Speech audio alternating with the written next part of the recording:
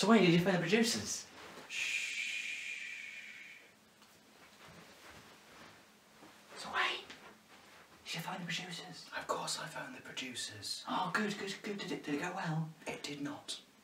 Ah, what happened? They said, and I quote, You quote. you have to start producing your own material. How are we going to do that? Well, I'm going to go now. Alright. All good producers Mhm. are leaves. So I'm just absorbing the sunlight, producing my material. Oh, I see. Like Autotrophs producing for an ecosystem. Yeah. Wait. Yeah. Who was on the phone? I don't know, 'cause we don't have producers, We do don't have producers. We've never had producers. I don't know why you asked, did I call the producers? I don't know. I just, I just felt like it was the right thing to do. You know. I, I, I totally get you. I, totally, I mean, I, I, I, answered them as if they were producers. You did. So, so who was it? my mum. She said something about chicken Oh. Kievs, she did. Oh, I love chicken Kievs. And she said, you have to produce your own material. Maybe she meant you need to make a farm, rear some chickens, And some chickens. Kievs. Oh yeah, and some Kievs, which grow naturally in our environment. Vegans can have them. Can they? Yeah. Can't have the chicken though. No, no, no, just That's the Kiev funny, bit. Yeah. Just the garlic bit in the middle. I've got. I love garlic. Anyway, so we're on to, you said something about autotrophs, did you? I did, I did, and we're on to producers in the in the ecosystem, which is an autotroph is a better name for it, which we use now. All good producers, leaves. That's the type of producer. There's two main types really. There's leaves, which are like plants and stuff, and phytoplankton. They split into two main things. Leaves mostly do photosynthetics, and phytoplankton mostly do chemosynthetics. That's correct. Chemosynthetics is chemicals, and you do chemical reactions. Uh, a lot of little sea plankton things, they do have light because they're nearer the surface. Then you get some that are in awkward caving systems where it can support life, but they have to do it via chemicals. Yeah, We have to focus today on the photosynthetic. yeah, focusing on photos, and that's all to do with photosynthesis, which is all about at GCSE. But not enough. Not so enough. we're going to leave you in the dust. But hopefully you'll follow. No, we we won't leave them the dust. No, not on We, purpose. we're gonna like drag you along. Yeah, drag you up Yeah. to knowing about things you'll never need. Yeah, so you can walk on a mountain. There's sort of raise you up. Oh, now I feel silly. You do, don't you? Anyway, we've got the overall equation of photosynthesis. Let's get that up. Alright. So, this is the thing you learned at GCSE, and this is an overall equation, as I said a few seconds ago, which means it's just sort of the outline, and it splits into two main parts. So you'd think it would be six lots of water reacting with six lots of carbon dioxide producing that, but it's not. The CO2 and the water actually never meet. And it means like a tragic love story, but not at all like a love story. It's not very tragic. So that was a poor analogy really. Sorry. So we'll start with the water. It's a light dependent reaction, that means it needs light. It's light. Now this reaction we're going to split into light dependent and light independent. First, that has to happen is light dependent.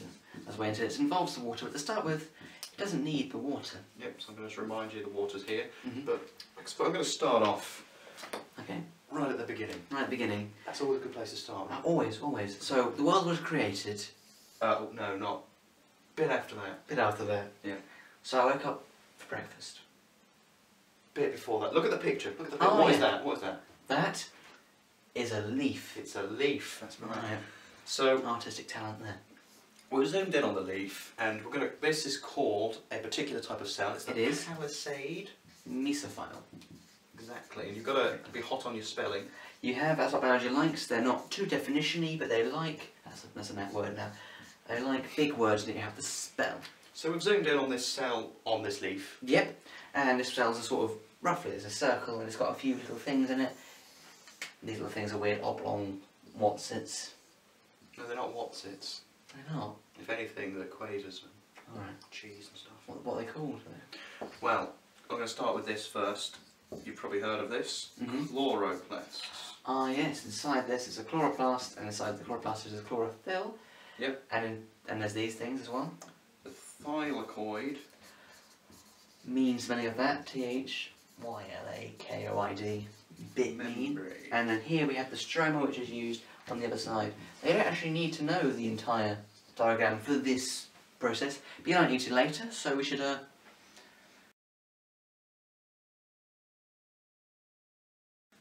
that was That was really good, wasn't it? It was. I really liked the picture part. Yeah, that was good. Yeah. Anyway, So, you don't need to know all of that. So we're just doing this. So we've got the stroma, the thylakoid membranes, these oblong things, Mhm. the chloroplasts, and there's chlorophyll in there. Yeah, which makes it green.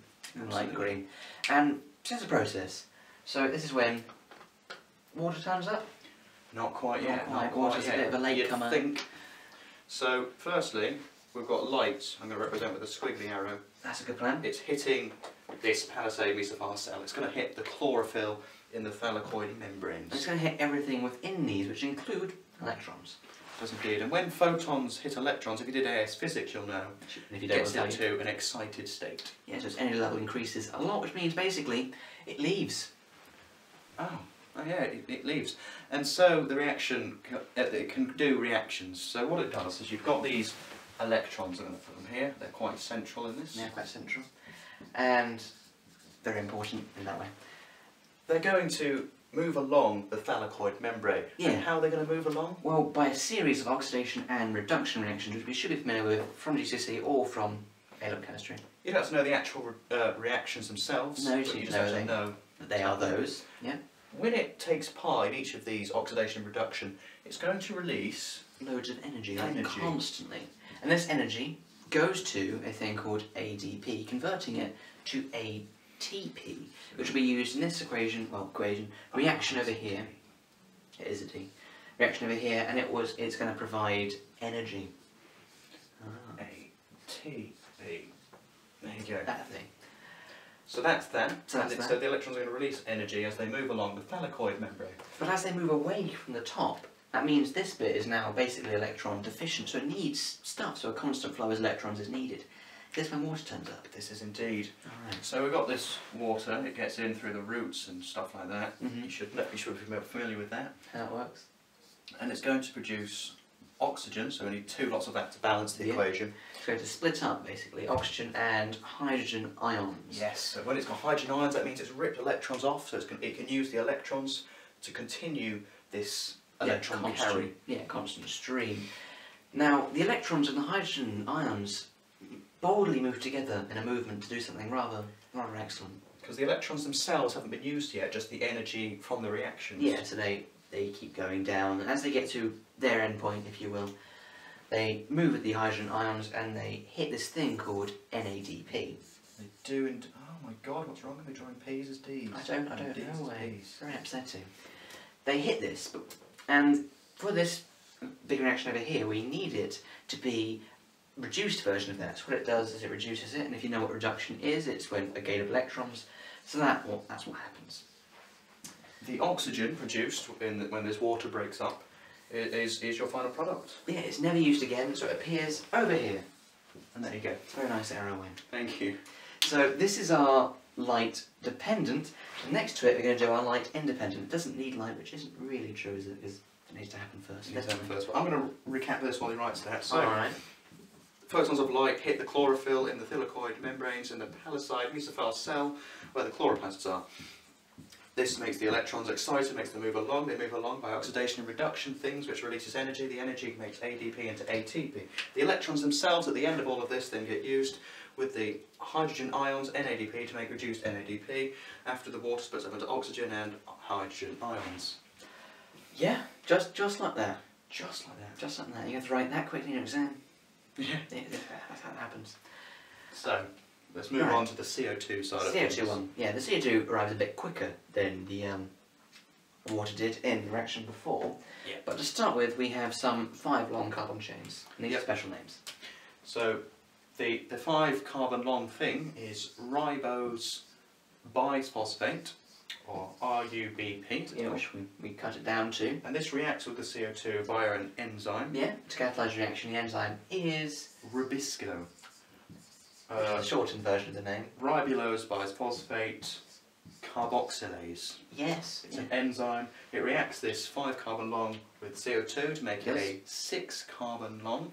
It does, and that happens over here. But the six carbon long thing it makes has a name. It Does indeed. What's the name? It's glycerol, Glycerol palace something. phosphate thing. Anyway, it's not very stable, and it splits into three smaller carbon chains. You don't need to know what they are. But they immediately because they immediately get reduced. They do, and they get reduced because of this.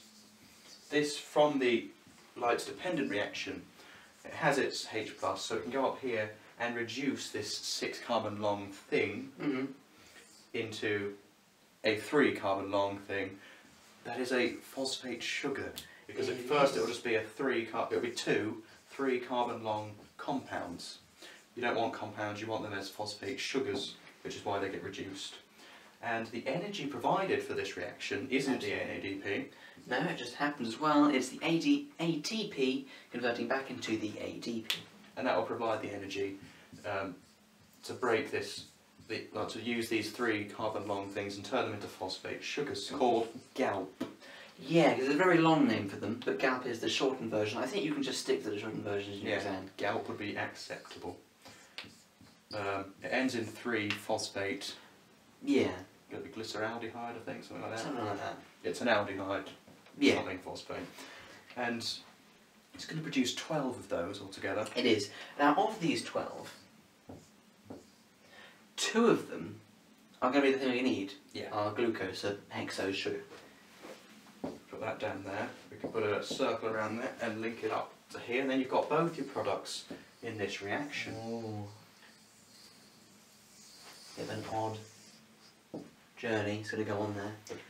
What about the other ten though? There's going to be another 10. The other ten are something substantially less helpful. They do indeed. They go back to this. They form together to make the five carbon long things. So So back to here. 5 out of 12, sorry. 10 out of 12. They're 5 carbon long though, that's what, that's what the fire came from. And this is also given the energy to happen by more ATP becoming ADP. Yep, so that's the same thing, providing energy again. It's going to go back to produce this, and there you go. So to recap this one, you've got the RUBP reacting with CO2 because of the enzyme Rubisco, producing a six long thing, which is then going to break up into two three long things. Both of these are going to become phosphate sugars because of the NADP reducing them, providing energy from the ATP. Two of them is going to produce your actual thingy, and the other ten is going to go back around. You What's that cycle called? That's called the Calvin cycle, Not the bicycle. not the bicycle. I use those to go places. Yep, I use the unicycle. That's nice. Now, in plant, glucose is often used to make things. Yep, such Amino as acids. amino acids. Yeah, and stuff in the plant. You might be asked that as well. That's a thing. But this is quite large. You do have to know it all. Yep. Now we're going to get on to polar bears. We are polar bears. I like polar bears. Apparently, you shouldn't hug them though. No.